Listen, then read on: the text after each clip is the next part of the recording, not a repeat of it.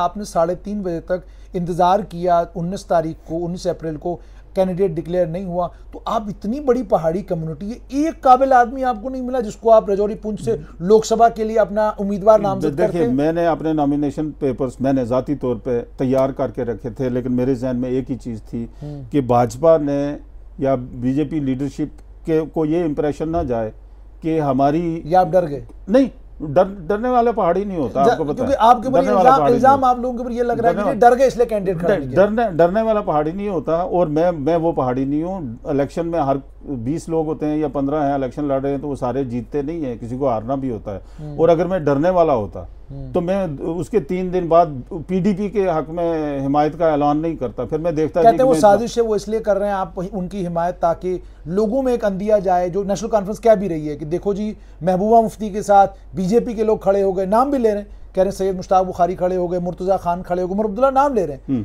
हालाँकि Mushtaq Bukhari national conference से उधर गए हैं आप पीडीपी से इधर आए हैं सारा है। लेकिन उन्होंने बाबा नाम लिए। कहा, मुश्ताक बुखारी हैं, मुर्तज़ा खान है, फला हैं फला हैं। ये सब बीजेपी के लोग, महबूबा मुफ्ती के साथ हैं। महबूबा मुफ्ती बीजेपी की कैंडिडेट हैं। देखिए, डॉक्टर फारूक अब्दुल्ला आज भी वाजपेयी साहब की हुकूमत का या वाजपेयी साहब की बीजेपी का जिस वक्त ज़िक्र करते हैं